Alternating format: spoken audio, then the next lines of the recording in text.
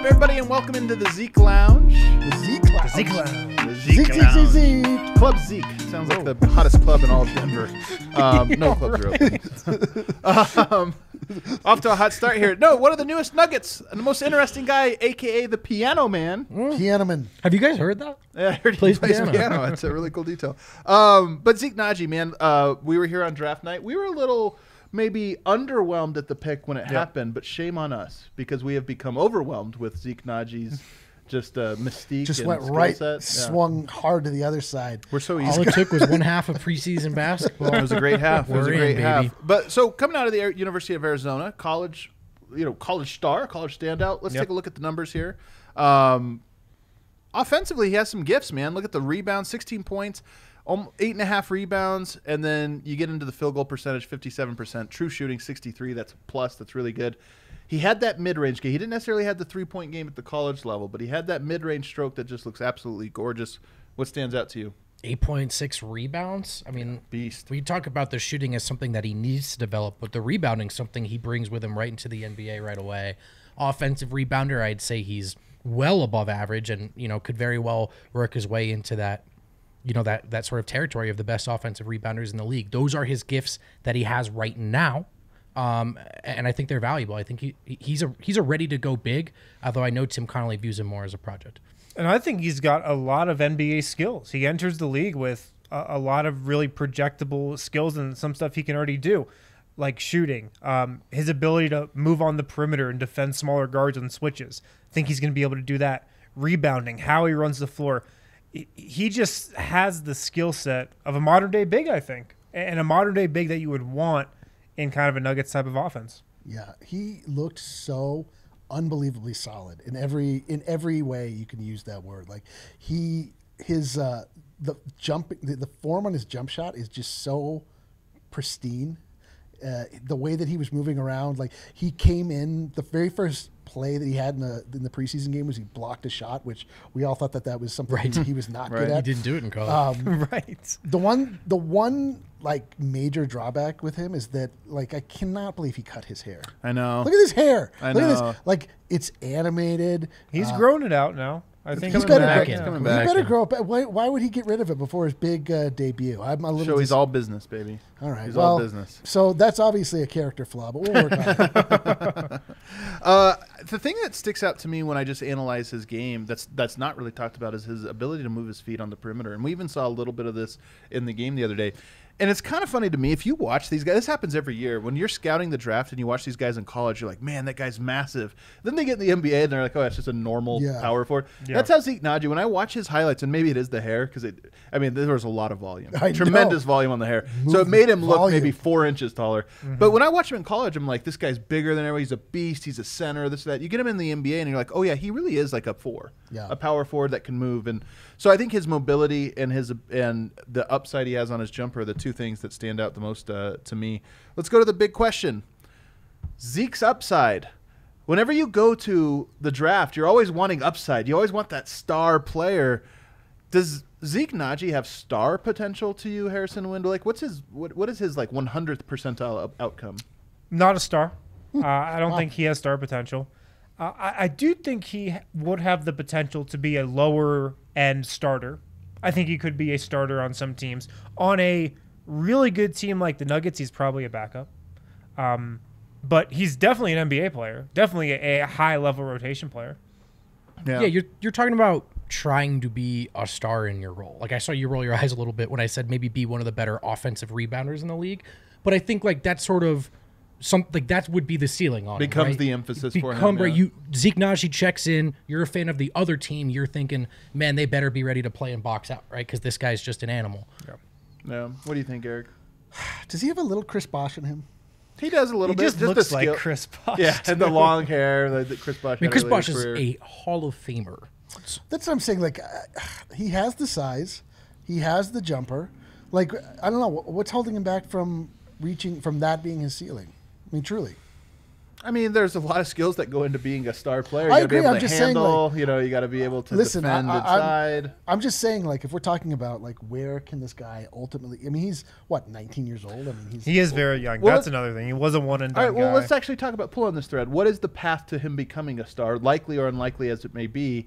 No, you have to start with the three point shooting. Yeah, so he's to. shown that beautiful form. It looks like he can extend that to the three point line consistently. He's one for one, I believe, in his NBA career. So so start. far, he's, he's he's better than anybody ever. But that's a must, I think, if you're talking about stardom. So he has to become a like a reliable three point shooter, and we're not even, you know, his shot is a little different from say Jerami Grant, JaMychal Green, and Paul Millsap in that all of them look like big men that taught themselves how to shoot, and he looks like a guy that just has a solid shooting motion. Like, Yeah. I think he's a guy that could project to have a little bit more gravity. I don't know about shooting it on the move, as in like you know run pin down for him and he hits it, but I do think he's a guy that like is a quick Pick and pop. pick and pop, pick Yeah. and pop, exactly that kind of gravity kind of guy. So that you start there. You talk about perimeter defense, and he's a guy that is there's no drop off. Like if he switches out onto the guard, you're not like oh crap. Tristan Thompson at his peak type player, where it's like okay, this guy is phenomenal there. And then to your point, Vogt. I think rebounding. Is there anything else that it would take in your mind, Harrison, for him to that he needs to do in order to become that type Well, of player? a reason why I just don't see him taking like a Chris Bosh route is just the individual scoring. Yeah, yeah. He's probably going to be a guy who gets his offense off of perimeter jumpers and Second just finishing in the paint. Yeah. You know, and, I don't know how much of his individual offense is going to come from, you know, everything else in between. And, and that's okay. Like Right, right. especially on like the Nuggets don't need that. Um maybe if he was going, you know, to another team, they would need just more creation from him uh, off the dribble. So that, that that's where I see him falling short of like a, a Chris Bosh type route. Um, but no, he, he's got so many intangibles for it to be a high level role player. The other thing, and I mean, this sounds like a joke, but it's not. Like the his piano playing, like literally shows a like a guy joke. that has the ability to focus, Yeah. have discipline, stick to something. I- I believe- I perfect actually like something. this. Yep. Like uh, he's, I mean, he's not like he's not like Jamal out there like th- th- chopsticks. Like he is a very accomplished Wow, piano what? player. Jamal Stray just bowling. caught a giant stray here. Jamal, like, by what the did way, he who do said, uh, other First than off, try to play the piano? First I'm sorry. off, first off, when I was auditing the uh, press conference, Jamal himself said that he had to get a new hobby because of how good Zeke is. The point being, like, this is a guy that I like, I, I think already has natural ability, and I don't see, like, he, you can tell he's a worker. Yeah. So Yeah. I think that right now is his defining trait. He's coachable. He's a hard worker. That's what I think of first. absolutely. All right, so let's go to our over under for Zeke Nnaji, the big over under here, and we're going to talk about his shooting because to me it is like kind of central. It's like the foundational piece here. Thirty-five percentage. Who put percentage? Thirty-five percentage. Three oh three point percentage. What is wrong with you? well, usually you would add a You have- percentage on the top. He's, You'd he's add so a- eager to bully someone. What are he the didn't even odds of double Zeke check. Minaji's three point? 35 35 per- backfire bullet. 35 percentage. Are we going to go over or under this rookie year him shooting from the three-point line Vogt?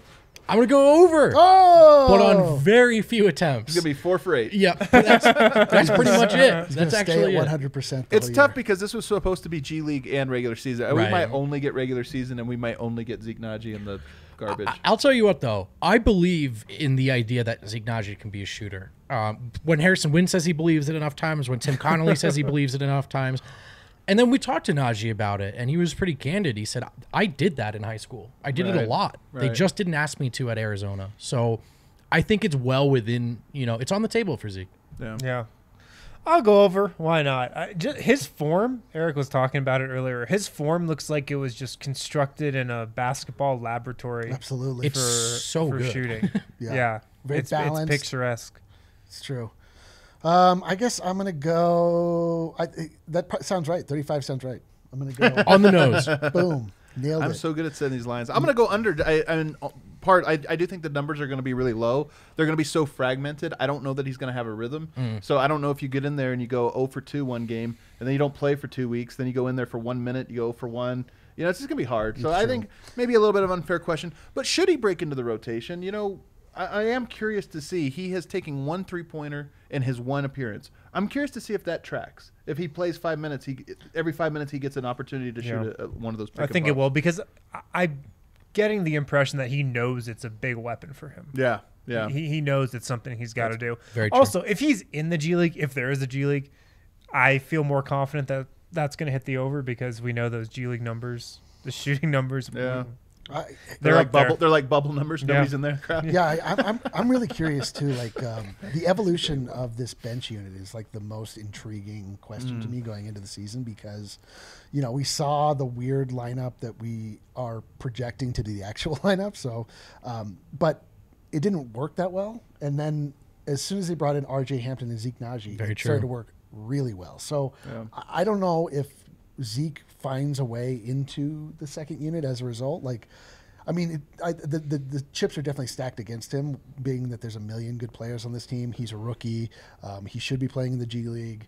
All of these things. So I don't know what to expect out of him. But um, as far as going beyond this year, like I think that there, we, we, there's going to be big things for Zeke. Let's head to court, guys. Let's pay a visit Oh, to baby. Back in Judge court? D-Line. Back in court. I thought we were gonna have to deal with my parking tickets for a second as we're leaving. All right. so Uh, all rise for uh, the honorable Judge D-Line. Not gonna Uh, rise. Literally, not- not, not not, gonna one- rise never now. ro- never risen once. We're going to have a debate here in court because we are trying to find out who is the rightful heir to minutes in the Nuggets rotation this season. Who will get the most? Will it be R.J. Hampton, as Brendan Vogt is going to argue, or will it be Zeke Nnaji, as Harrison Wind just found out he's going to? maybe, maybe not. Uh, anyway, Judge, I hand it over to you. Gentlemen, let's have a good court session, shall we? All right, go first. What an accurate. Uh, the honorable Judge D-Line, thank you for uh, allowing me into this court of law tonight. Objection. He's kissing your ass. you know what, though? I'm going to allow it. Here's why Zeke Nnaji is going to get more minutes than RJ Hampton. He's just ready to play. Z- hmm. Zeke Nnaji is way more ready to play right now than RJ Hampton. We saw what RJ Hampton did in a quote unquote professional environment last season. He really struggled in Australia. Now, I think he's got a lot of upside, but that will come down the line. He really struggled against the physicality. Zeke Nnaji, he was a big body last year at Arizona. He put on 20 pounds this offseason from the time his college season ended to now. He's bulked up. He's, he'll be able to play right away in the NBA if he's needed. And he's got some translatable skills. The three point shot is ready to go, the rebounding is ready to go. He's going to run the floor hard. The Nuggets could use all those things. It's a great argument, and I, I wish to you good luck, Brendan Vogt. Thank you, uh, Your Honor. Uh, we just heard from Michael Malone recently say that Zeke Nnaji looks overwhelmed at times in training camp. did we didn't that. hear him He say that say about that. RJ. In fact, we did hear Jamal Murray say today that RJ looks great, and I think that's objection. No. Incorrect. Did he not say that? he said RJ was like looking like a jackrabbit and cutting when he doesn't need first to he cut. said he looks really good. First he said he looks really good. He just cuts too much. We need a little order here. Uh, Hey, there's not enough cutting on this team, Your Honor. Um, okay. I almost forgot my point, but he we didn't hear him say that RJ Hampton looks overwhelmed because RJ Hampton physically is ready for this league, and and he he's been playing against grown men and professionals already. He's gonna keep getting stronger. I think he's the fastest player on the Nuggets. Athletically, he belongs on the court. He has the chance to shine on the court, and and that's just a baseline that from day one puts him puts him in a higher place than Nnaji. Wow. Judge, do we have a ruling? Well, uh, do we have any counter arguments? Is it, uh, I would just like to counter by saying that I agree with Harrison. oh my gosh! All right. I, I rest my case. all right. well, in the case Oh of God. R.J. Hampton Who gave him this versus power? Zeke Nnaji, In your This- past life, you were definitely not a judge. Yeah, this is very this court, unnatural. I'm on, in, also in my current life. In his past life, he was just D-line co again. Uh, this court finds in favor of Brendan. Just kidding, Harrison. I'm taking it. Let's go, Zeke Nnaji. Congratulations. Congratulations. Yeah, maybe I should quit my day job. All right, let's uh, escape this with As uh, quickly as as quickly as possible possible, with our I bold that was, predictions. uh, Some good judging. Let's make I bold say. predictions and uh, Vogt. I'll let you go first this time. Sure. Uh, so my bold prediction about Zeke Nnaji is that he will come on the DNBA show Piano this season. session. And it will not be to play piano. It will well, be uh, to we get don't to want know then. anything else about, literally anything else about Zeke. if he wants to play piano, he plays piano. Although, yeah, if that's what it takes to get you on the show. Uh, Zeke, K- Kata is, he just called me. He canceled. So the spot's open. just let us know. Unbelievable. That's a super bold prediction.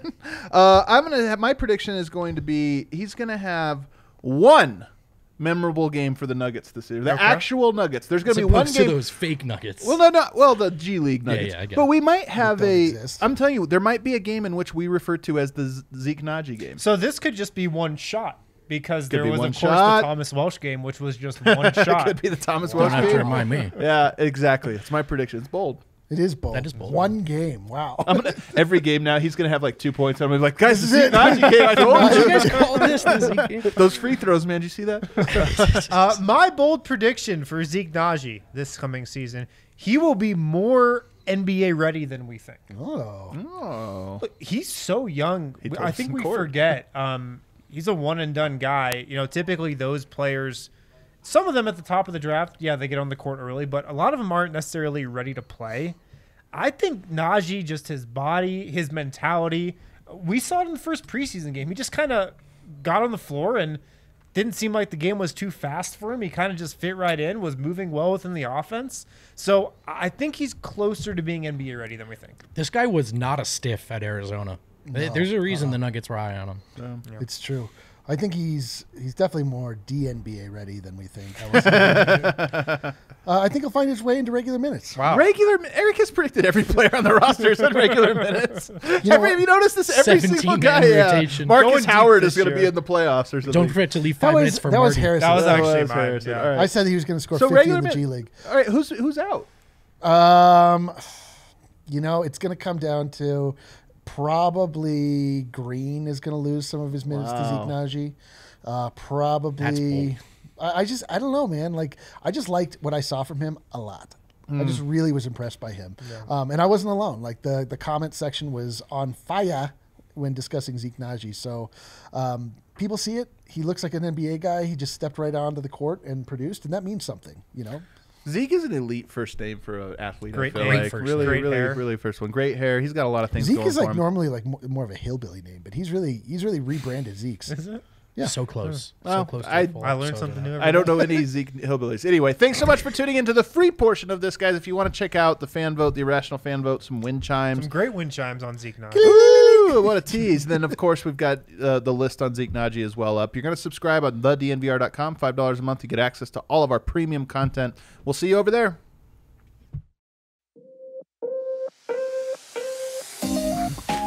Maybe the best play of the preseason from old Zeke.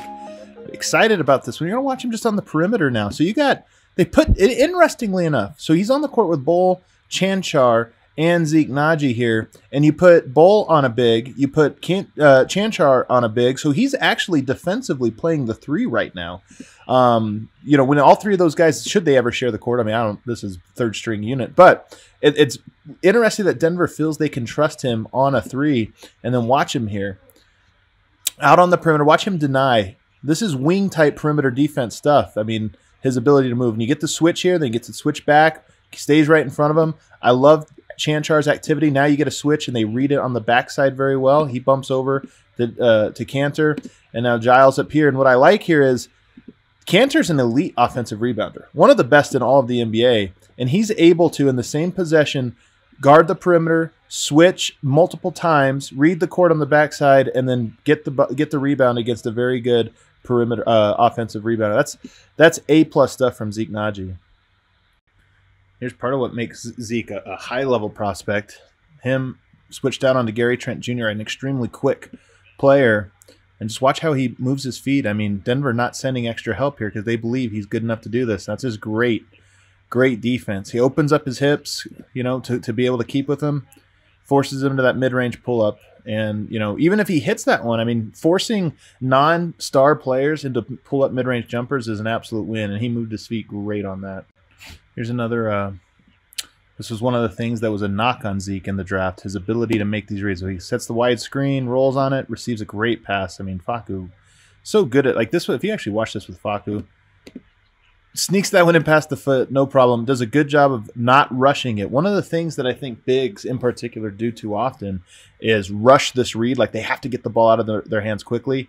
Pivots, finds the wide open guy, and gets it. Now I know this seems like a simple play and a simple read, and it kind of is, but this was the knock on Zeke in college that he was really bad at making that specific read, catching on the roll and figuring out what to do with it if you weren't open to go up. So encouraging that he seems to have made progress on that.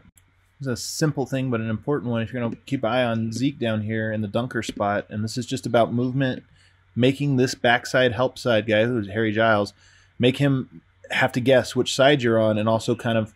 So he starts on this side because you got the pick and roll rolled action going this way. And then as soon as he catches the ball, you'll notice him, as soon as Hartenstein catches it, defense now has to lock in because they're vulnerable, so he has to step up. So immediately he comes to the other side, finds the pocket, draws the foul. This is just good working the dunker from uh, Zeke Nnaji. The dunker spot, by the way, is this spot right here, this spot right here, just below the basket on the baseline, right outside the painted area. It's, you know, where you stick a lot of bigs there to kind of stretch the defense, and you can grab offensive rebounds and cut from there. Here we have uh, Zeke Nnaji run that little curl action. He he flares out to the corner and then really good fluid shooting motion. And this is his number one sort of like NBA skill. But if we watch it again, slow motion here, you'll see. Only thing I don't like about it is there's a little bit of a left right on his hop. He doesn't land quite balanced, and he catches afterwards. But that's partly because of the bad pass. Super smooth, super repeatable motion, and then again gets it off smoothly, cleanly. 100% three three point shooter, I believe so far. His shot looks. I think his shot scales really well, even though he didn't shoot it in Arizona a, a ton of threes. It shot's just too beautiful. I think it's. I, I think there's no question he's going to be a, a, true stretch four with some other unique tools that not all stretch fours have, including size. Really good D from Will Barton here. Look at him rotate over. So you get split defense here. Get split. Not great work here by Hartenstein. So now the defense is super compromised. A lot of time when you get a split here, two guys trailing the play as they are now, the score is nine out of ten times. But Barton pre-rotates. He's got Derrick Jones, who's not a great shooter, so he's able to like kind of free roam, but he anticipates this early. You see, he's above the free throw line, gets all the way over, and rather usually this guy is over here to tag the big, but he fully commits to CJ, is able to make contact with him, go up and uh, deter the shot. So that's a that's a play that when you get in that position up top when you get into this spot right here, I mean, this is you score more often than not if you're an offense. So that's a really good play by uh, Will Barton. Hey guys, welcome into Wind Chimes. I'm Harrison Wind. Nuggets rookie Zeke Nnaji. This guy is super interesting. I talked to a scout who watched Zeke Nnaji play very closely at Arizona, and his takeaway was look, he was playing with two other super highly regarded recruits, Josh Green and Nico Mannion. And his take was Zeke Nnaji got overshadowed by those guys, but it wasn't really his fault. He thought Zeke Nnaji was the best player on that Arizona team, of, again, next to Mannion and Josh Green. And I don't know how well Josh Green and Nico Mannion took it. This scout said that it seemed like to him that those two guys stopped just passing to Zeke Nnaji at some points during the season because – he was outperforming them and they didn't want to get overshadowed. So I think he's got a lot more that he's capable of than he showed at Arizona. Uh, just talking to some more scouts about Zeke Nnaji, guys who have tracked him uh, throughout his high school and college ranks. His personality, it just lines up with the Nuggets. He is such a Nuggets guy. Uh, he's going to be an A plus teammate, an A plus hustle type of guy, uh, a guy who's going to definitely uh, draw the praise of Michael Malone just for his hustle, uh, just for his motor. That that never really turns off. So from all of those aspects, he's gonna fit into the Nuggets great. Welcome back into the fan vote. I'm Brendan Vogt, and let's run through your player preview poll results for Zeke Nnaji. I asked you guys how you would grade the Zeke Nnaji pick. 68% of you gave it a B, 23% of you gave it an A. You guys were feeling the pick right off the bat, and I know you let us know that we were way too negative with that live reaction. I asked you, does Zeke Nnaji have a path to minutes this season? 53% of you said only if someone gets hurt, although it is worth noting that 41% of you think the backup center position is still for grabs. I think that first lot was right, though. I think Hartenstein's going to take the backup center minutes. Finally, I asked you what excites you most about Zeke Nnaji. 50% of you said the motor and the hustle. I agree. This dude just plays like he loves basketball, loves to work, loves to be coached, and that's the perfect mentality for the end of a end of a bench player.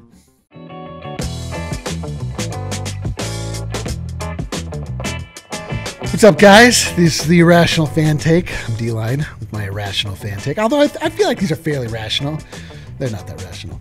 Um, Zeke Nnaji. what to make of Zeke Nnaji. The first uh, and most obvious thing that you notice about Zeke Nnaji is that he cut his beautiful, beautiful hair before being drafted by the Denver Nuggets. I feel like immediately slighted by Zeke. He comes in the league with this short, like less than haircut. When we saw this these, this beautiful, majestic mane in college, plays the piano. We do know that. Dev has named him Piano Man. Um, I think he plays basketball too. I don't really, I, to be honest, I don't care. I mean, the, these are the only things I'm looking at when it comes to Zeke. And on the first point, I'm, I'm pretty disappointed. On the second, I'm very interested. So, Zeke, let's play some beautiful music, my man. Let's go.